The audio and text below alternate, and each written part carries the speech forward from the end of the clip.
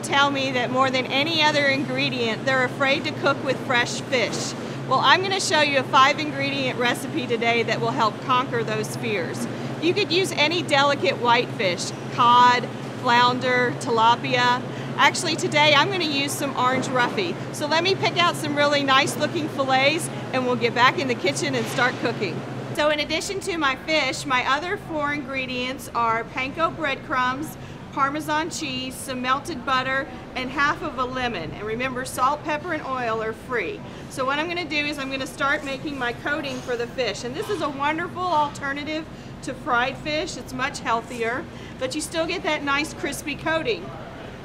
A little bit of parm, and you can just kind of eyeball this because what you want to do is you just want to have enough moisture in here to where you're not eating just dried breadcrumbs. You just want a little bit of butter, a little bit of lemon, and using the lemon, you know, that helps with not having to use as much butter as well.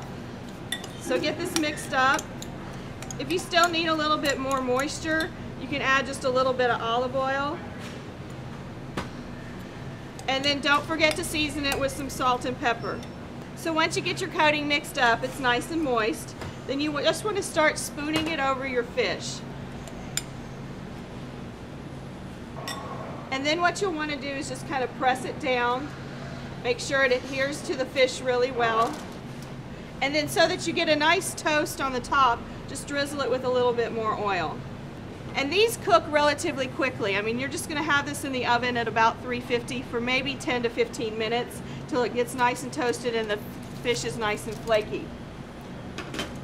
And so what you end up with is this beautiful golden fish.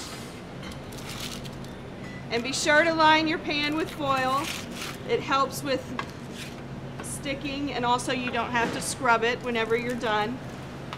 And then you could make a nice little tartar sauce or maybe just a little bit more lemon butter sauce to go on the side.